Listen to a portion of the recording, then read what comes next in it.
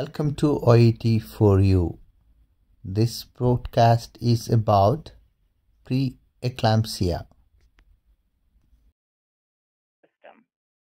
Thanks, Maureen. I'm impressed that you do both OB and GYN because a lot of people who enter the specialty seem to have migrated either to obstetrics or gynecology.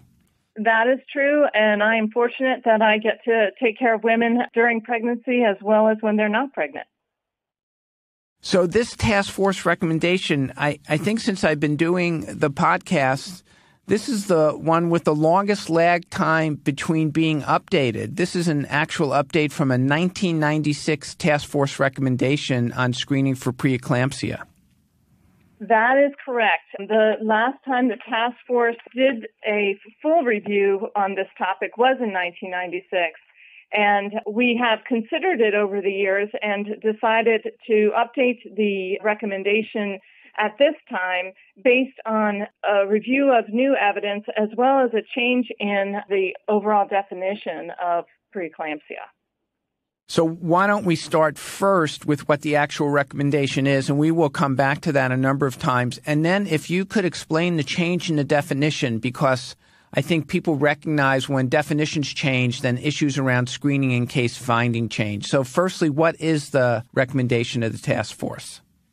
The overarching recommendation is that the task force recommends screening for preeclampsia in pregnant women with blood pressure measurements throughout pregnancy. And this is a B recommendation from the task force. And I know in general, when women are pregnant, they do see individuals who are caring for them during the pregnancy at regular intervals. Does the task force make any specific recommendations about how often blood pressure should be measured? The recommendation recognizes that there may be different situations for each pregnant woman. And the recommendation is really about for every clinical encounter with a physician or their provider that they have a blood pressure measurement done during that visit. So, no specific recommendation about the timing of when the blood pressure measurement should be made? There's no timing interval specific, it, but it should be done with each visit with their doctor. So, the old definition of preeclampsia versus the new definition, how did it change and who changed it? The revised definition for preeclampsia is that you have high blood pressure during pregnancy with protein in your urine in the case where you don't have protein in your urine, but you may have other conditions that have evidence of damage to other organs, like the liver or the kidneys, that could put you in the category of preeclampsia. And because of the change in definition, it sounds as though the task force thought this was a good time to update the 1996 recommendation regarding screening. That's correct.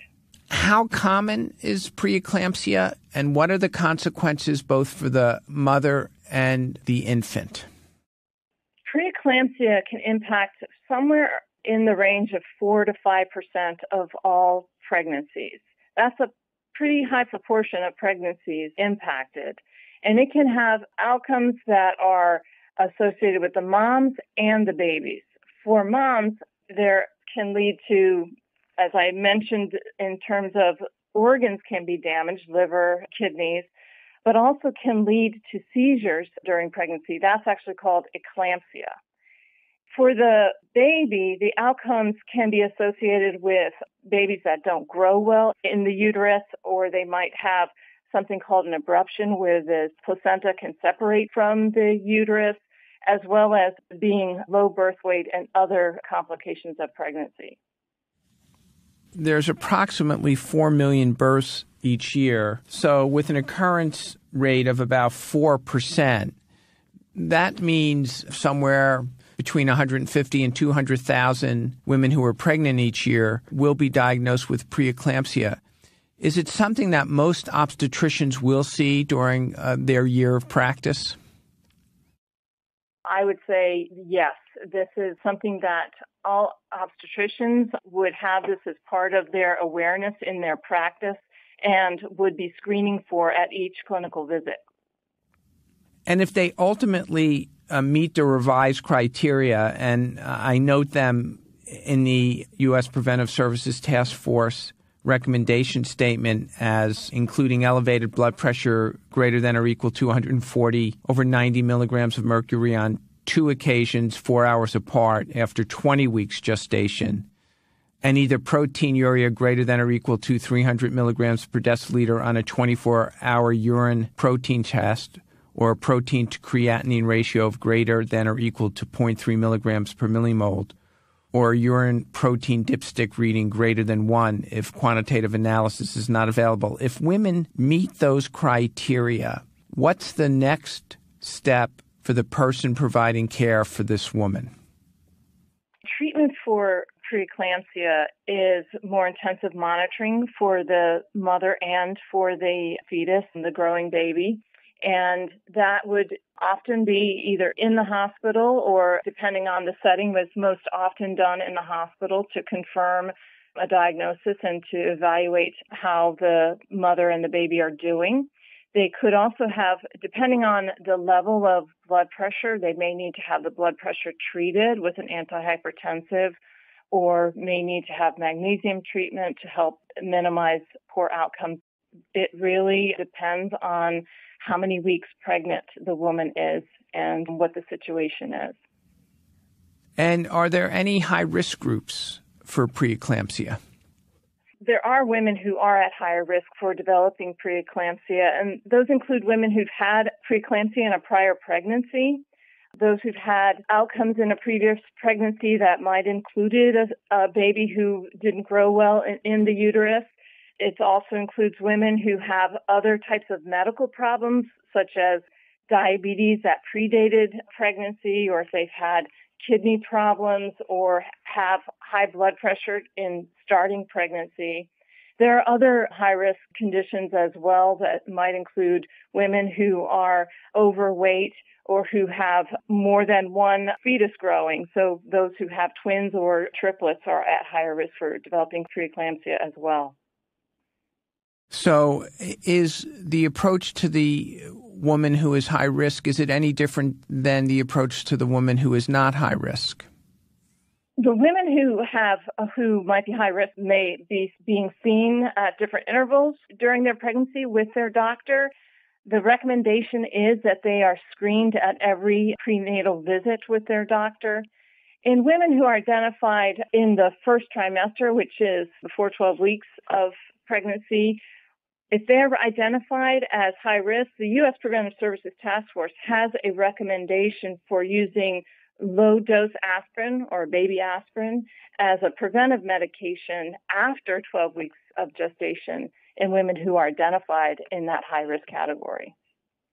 Thank you. I do appreciate you making that point, Maureen, because oftentimes the task force has related recommendations around a particular group that they're considering.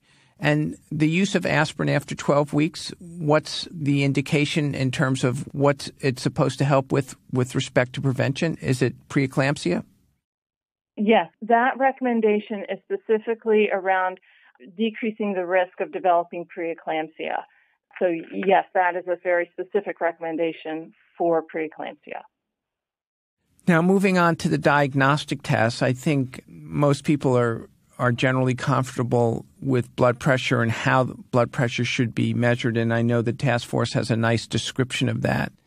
But in addition to blood pressure measurement, they also considered a number of other tests. The first that I was hoping to discuss is urine tests for detecting protein and then the sensitivity of the protein to creatinine ratio. Could you just talk about those two diagnostic tests?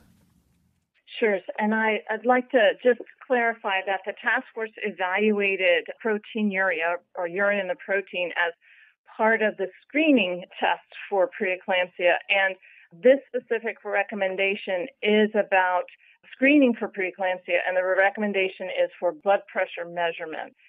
What we're talking about right now is that measuring protein in the urine is used to confirm the diagnosis or part of the diagnostic criteria. So I just want to make sure that we're clear on that as we move forward. And the task force did look at the accuracy of testing for proteinuria And we looked at dipstick testing as well as what you refer to as a protein creatinine ratio. And what we found was that the dipstick testing was we did we, we had some studies that we were able to evaluate but did not find that those tests were accurate for predicting the outcomes of preeclampsia. And similarly, for the protein creatinine ratio, um, we looked at the sensitivity um, and specificity for that test as well and found that we didn't have a robust test for accuracy in predicting the outcome of preeclampsia. So this is about, we looked at the screening test of using the urine protein dipstick and the protein creatinine ratio. I believe the task force also identified 16 multivariable risk prediction models that were evaluated in four external validation studies, but they didn't find much encouraging results around these risk prediction models. Can you just comment on this issue? Sure. The task force was interested in seeing if there were risk prediction models that could help in identifying women who are at high risk for developing preeclampsia. However, the evaluation and the evidence, what we found was that these had low positive predictive values and were not able to be recommended for use as a predictive tool in our assessment for preeclampsia. The other piece of looking at these predictive models were they weren't based on information that you could get during a routine visit with your obstetrician. And which would mean we would like to be able to have a tool, a predictive model where you could use clinical information, whether it's the patient history or some type of clinical information you gather during the visit to be able to help predict whether uh, a woman is at higher risk for developing preeclampsia. We just don't have that yet. Yeah, the latter point that you make, Maureen, is so important. At JAMA, we often see papers that have a very complicated risk prediction models.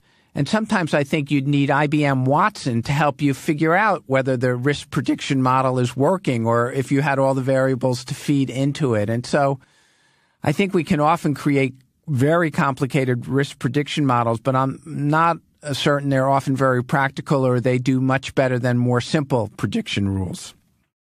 Now, the task force is excellent at considering harms of screening and treatment. Um, any harms of screening and treatment with respect to preeclampsia? There are very few harms associated with blood pressure measurement. So the task force found that there was no evidence of harms for, with measuring blood pressure. The harms are really much more associated with the treatments of preeclampsia. However, those are balanced in that the treatment of preeclampsia actually is the treatment of the disease, which has very significant outcomes, significant poor outcomes. And in the balance, the benefits of treating, identifying and treating preeclampsia outweigh those harms. And um, let's comment on the recommendations of other groups because there's a number of societies that have commented on screening for preeclampsia. And I know the task force is always very good about considering those recommendations and highlighting where there's common ground and where there might be differences. The task force and the American College of Obstetricians and Gynecologists both recommend taking a blood pressure measurement at every clinical visit. And we both agree that preeclampsia is a very serious condition. American College of Obstetricians and Gynecologists also acknowledged that uh, taking a detailed medical history along with the routine blood pressure measurement are the best tools for alerting a clinician to a patient's potential risk. So that's an important group that the task force is aligned with to help prevent these very serious outcomes for both moms and babies. Thank you. So let's return to the discussion that we've already had because it is complicated. And that's the use of blood pressure, which is a B recommendation. And I'll state it according to the task force, the U.S. Preventive Services Task Force recommends screening for preeclampsia in pregnant women with blood pressure measurements throughout pregnancy, and it's a B recommendation. So, could you once again explain, differentiate between the use of blood pressure as a screening tool and then the accuracy of the two diagnostic tests that the task force created, which was the detection, urine test in detecting proteinuria, as well as the sensitivity of the protein to creatinine ratio? So, in the evidence review, it is clear that evaluating women with blood pressure measurements uh, throughout pregnancy can identify women with high blood pressure and will then lead to potential for diagnosing a woman with preeclampsia. The evidence around treating women who are identified with preeclampsia is very strong that the treatment improves outcomes for moms and babies. So that's really the crux of this recommendation about assessing women at each prenatal visit with blood pressure measurement to screen for preeclampsia. The role of evaluating protein in the urine for women is part of the diagnostic criteria for preeclampsia. It's not necessarily part of the screening criteria. And that, as we evaluated that in the task force, we did not find that there was accuracy in the measurement of protein in the urine for screening for preeclampsia. There is a significant role for evaluating protein in the urine in a woman who has high blood pressure to actually make the diagnosis of preeclampsia. That was perfect, Maureen. So I'll reread the definition that the task force gives for preeclampsia because I do think that will be helpful. Revised criteria diagnosis of preeclampsia include elevated blood pressure greater than or equal to 140 over 90 millimeters of mercury on two occasions, four hours apart, after 20 weeks of gestation, and either proteinuria greater than or equal to 300 milligrams per deciliter on a 24 hour urine protein test, protein to creatinine ratio of greater than or equal to 0.3 milligrams per millimoles, or urine protein dipstick reading if quantitative analysis is not available. And then, as you mentioned before, in the absence of proteinuria, thrombocytopenia, renal insufficiency, impaired liver function, pulmonary edema, or cerebral or visual symptoms. So uh, the evaluation of urine uh, is not helpful for screening, but it is important in the diagnostic evaluation of people at risk for preeclampsia. Correct. Thank you. Thank you. Now, anything I didn't ask that I should have, or anything that you think our listeners should know that we haven't discussed? Well, I'd like to comment that the task force is committed to improving the health of all women and their children. And this specific recommendation is about a very serious potential complication of pregnancy and that we can screen for preeclampsia during pregnancy so that we can treat women and improve the health of both the moms and babies. And I want to reinforce that this recommendation is that all pregnant women are screened for preeclampsia with blood pressure measurement at every visit during pregnancy. Thank you. Once again, it's been. System. Thanks, Maureen. I'm impressed that you do both OB and GYN because a lot of people who enter the specialty seem to have migrated.